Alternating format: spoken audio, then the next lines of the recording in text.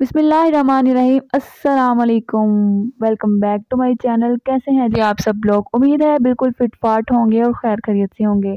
तो आज जी हमने बनाई है कड़ी पकौड़ा। तो बहुत ही जेनुअन और ऑथेंटिक रेसिपी है कड़ी पकौड़ा की, जो मैं आज आपसे शेयर कर रही हूँ। रेसिपी बहुत ही इंटरेस्टिंग होने वाली है। रेसिपी पसंद आए वीडियो को लाइक करें और चैनल को सब्सक्राइब करें। और साथ लगे बेल आइकन को प्रेस करना मत भूलिएगा।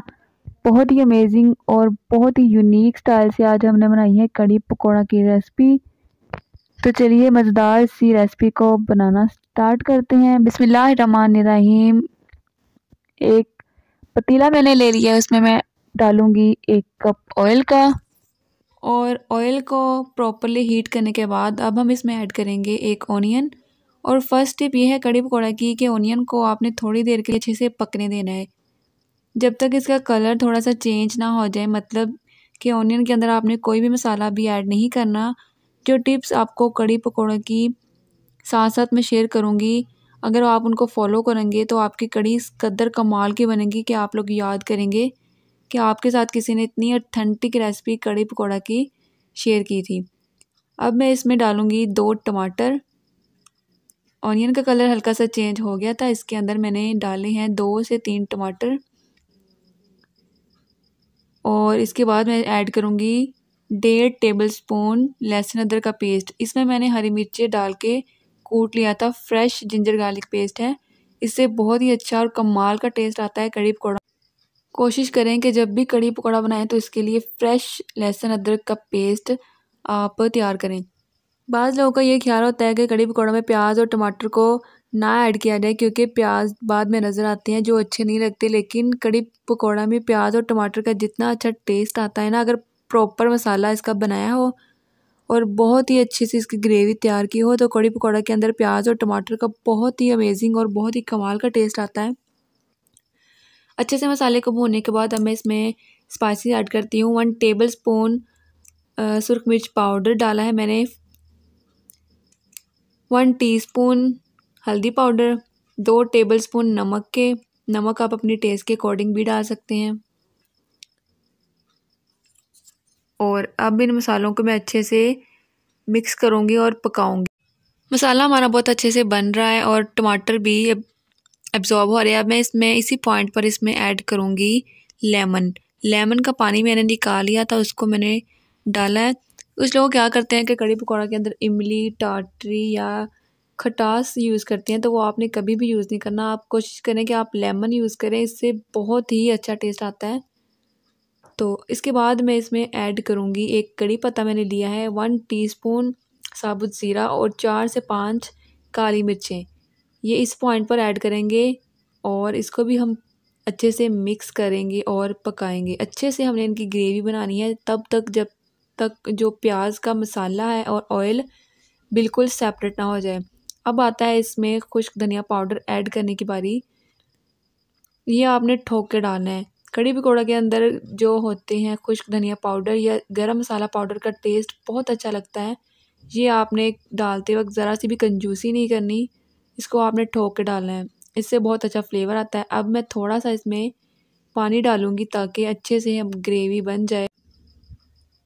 अब जी मैंने ले लिया है एक मग भर के दही का।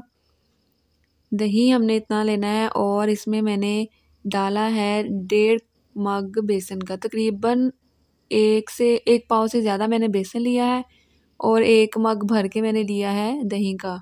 अब इनको मैं अच्छे से मिक्स करूँगी।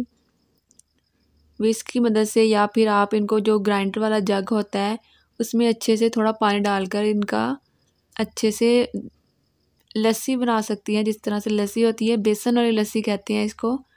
तो मैं यहाँ पर इनको अच्छे से मिक्स कर लूँगी। जो लोग थोड़ी कम क्वांटिटी में बनाना चाहते हैं, वो एक कप दही का ले लें और एक कप ही बेसन का लेके उनमें पानी डालकर उनको इस तरह से मिक्स कर लें। और जितनी आपने दही और बेसन की क्वांटिटी रखनी है उससे ट्रिपल आपने पानी यूज़ करना है। अब देखें जो मैंने ग्रेवी बनाई थी, उसका मसाला और ऑयल बिल्कुल सेपरेट हो गया। अब जो ऑयल है, वो हमने निकाल लेना है सेपरेट किसी भी बर्तन में।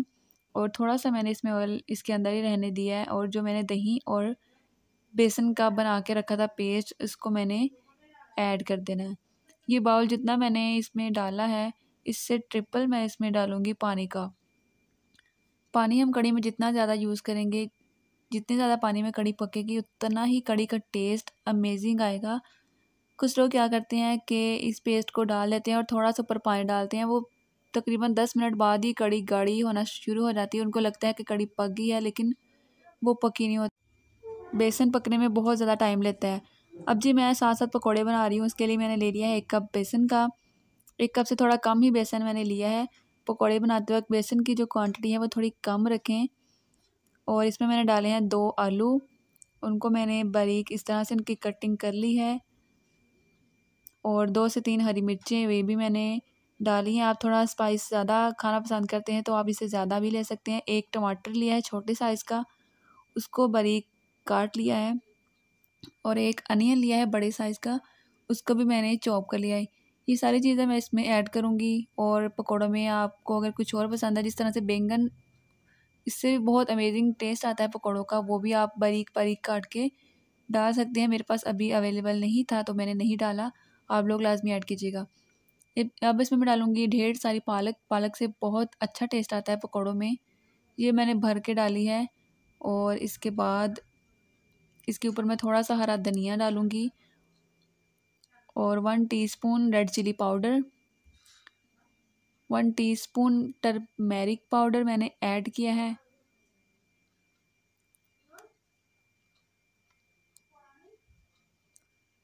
और वन टीस्पून नमक। पकौड़ा में नमक आप अपनी क्वांटिटी के अकॉर्डिंग डाल सकते हैं और दो टीस्पून मैंने भर के इसमें खुश्क धनिया की ऐड किया है। मैंने पाउडर फाइन फाइन पाउडर नहीं यूज़ किया, बल्कि हल्का हल्का सा कूट लिया इससे भी बहुत अमेजिंग टेस्ट आता है। और वन टीस्पून ज़ीरा, ये भी मैंने पाउडर नहीं बनाया। इसको भी हाथों की मदद से मसल कर डालेंगे। टेस्ट के लिए ये बहुत ही अमेजिंग होता है। अब इसको हाथों की मदद से अच्छे से हम मिक्स करेंगे। मैंने इसमें अभी तक कोई पानी नहीं ऐड किया। इसको ऐसे ही मिक्स करेंगे। ये बहुत अच्छे से मिक्स हो जाएँगे। ज़रूरत पड़ी तो मैं इसमें दो से तीन टेबलस्पून पानी के ऐड करूँगी। इससे ज़्यादा पानी नहीं ऐड करूँगी। पकौड़ों का जो बैटर है वो हमेशा आप थोड़ा सख्त रखा करें। नरम बैटर से पकौड़े इतने अच्छे नहीं बनते जितने सख्त बैटर से। देखें, इस तरह से मैंने इसका बैटर बना लिया मैंने थोड़ा सा पानी यूज़ किया है इसमें। तो देखिए साथ साथ हमारी कड़ी भी पक रही है। अब देखिए कड़ी में उबाल आ रहा है। अब इस पॉइंट पर हमने कड़ी को थोड़ा सा नीचे नहीं गिने देना, इसको हमने मुसलसल चम्मच की मदद से हिलाते रहना है। कड़ी का उबाल बहुत ही बुरा होता है, ये एक दफ़ा गिर गई तो समझे सारा पतीला आपका खाली हो जाएगा, ये मुसलसल गिरती रहेगी। इसको हमने बिल्कुल भी गिरने नहीं देना और इसके बाल को अच्छी तरह से हैंडल करना है। अगर आपसे हैंडल नहीं हो रही तो आप नीचे से फ्लेम बंद कर दें और ऊपर से इसको चम्मच की मदद से हिलाते रहें। मैंने इसका फ्लेम बहुत स्लो किया हुआ है और इसको मुसलसल में हिला रही हूँ, तकरीबन पाँच से सात मिनट लगेंगे इसको। इसके उबाल को हैंडल करने में इसके बाद ये खुद ही पकना शुरू हो जाएगी, इसके बाद इतना डर नहीं होगा। ये देखिए, इस तरह से पकना शुरू हो गया पाँच से सात मिनट बाद। अब थोड़ी देर बाद मैं इसमें चम्मच हिलाती रहूँगी ताकि ये नीचे ना लगे और इसको हमने एक से डेढ़ घंटा लाजमी पकाना है। इससे पहले अगर उतार लेंगे तो उतना अच्छा टेस्ट नहीं आएगा। कड़ी का मेन प्रोसेस ही इसको पकाना होता है। जितनी ज़्यादा कड़ी की पकाई हुई होती है, उतना ही इसका अमेजिंग टेस्ट आता है। तो पानी की क्वान्टिटी आप थोड़ी ज़्यादा रखें। अगर आपको कड़ी थोड़ी गाढ़ी लगना स्टार्ट में ही शुरू हो जाए तो आप पानी थोड़ा और डाल सकती हैं और इसको मज़ीद पकाएँ। चलिए, मैं पकोड़े बनाना स्टार्ट कर देती मैंने ऑयल गर्म कर लिया था। अब एक एक करके मैं पकोड़े डालती जाऊँगी। छोटे साइज़ के पकोड़े बनाएँगे हम। बहुत ज़्यादा बड़े बड़े पकोड़े नहीं ऐड करेंगे। मैंने बैटर जो सख्त बनाया था, इसलिए ये ज़्यादा ऑयल को एब्जॉर्ब नहीं करेंगे। इससे पकोड़े बहुत क्रिस्पी भी बनेंगे और टेस्ट में तो ये अमेजिंग है ही बहुत। एक एक करके मैं सारे पकौड़ों को डालती जाऊँगी और नीचे से फ्लेम जो है वो लो टू मीडियम है। ना ही फ्लेम इसका बहुत ज़्यादा हाई रखना है कि ये बहुत जल्दी फ्राई हो जाए, यानी कि ऊपर से इसका कलर चेंज हो गया लेकिन अंदर से ये कच्चे होंगे, बेसन इसका कच्चा होगा। साथ साथ हमने कड़ी को भी देखते रहना है कि वो नीचे ना लगे और इसमें चम्मच को हिलाते रहना है। कड़ी हमारी काफ़ी हद तक पक चुकी है। अब मज़ीद थोड़ी देर हमने इसको और पकाना है ताकि टेस्ट अच्छा आ जाए। अच्छा मैंने एक टेबल स्पून इसमें कसूरी मेथी का ऐड कर दिया था, वो मैं क्लिप बनाना भूल गई, आप वो भी लाजमी ऐड करें, इससे भी बहुत अच्छा टेस्ट आता है। पकौड़े भी अच्छे से फ्राई हो गए, इनका कलर देखें कितना अमेजिंग इनका कलर आ गया है। अब इनको हम आहिस्ता से किसी भी सेपरेट प्लेट में निकालेंगे। अब देखें कुछ लोग ऐसा करते हैं कि पकौड़े बनाते वक्त साथ साथ जब कड़ी पक रही होती है तो वो ऐड कर देते हैं। इस तरह से आपने बिल्कुल भी नहीं करना। आपने पकौड़ों को पहले किसी सेपरेट बर्तन में निकाल लेना है। जिस तरह से प्लेट में मैं निकाल रही हूँ, पकती हुई कड़ी में कभी भी पकौड़ों को ऐड नहीं करना, वो कुछ लोगों का ये ख्याल होता है कि वो इससे कड़ी गाढ़ी हो जाती है। गाढ़ी हो जाती है, लेकिन उतना टेस्ट नहीं आता जितना पकौड़ों को बाद में आप ऐड करेंगे, फिर आएगा।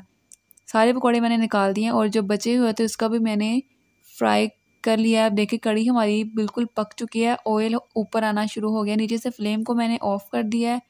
थोड़ी देर में इसमें चम्मच हिलाऊँगी ताकि अच्छे से जो ऑयल है वो सारा ऊपर आ जाए।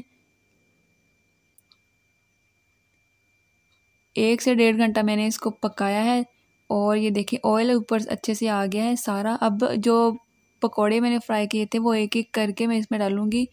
कभी भी प्लेट जो पूरी भरी होती है, वो एकदम से आपने ऐड नहीं करने इससे पकौड़े अंदर जाके एक दूसरे के साथ चिपक जाएँगे और वो इतने अच्छे नहीं लगते। आपने थोड़े थोड़े एक एक करके ऐड करना है और इनको हल्के हाथों से आपस में मिक्स कर लेना है अच्छे से। गरम गरम उबलती हुई कड़ी में अगर आप पकौड़े डालेंगे तो वो अंदर जाके बहुत सॉफ्ट हो जाएँगे और टूटना शुरू हो जाएँगे।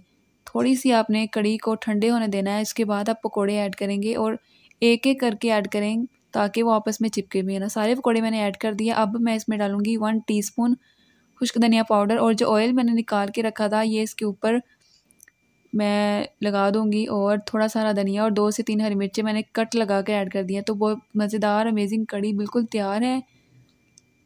कड़ी की बहुत ही अथेंटिक रेसिपी मैंने आज आपके साथ शेयर की है।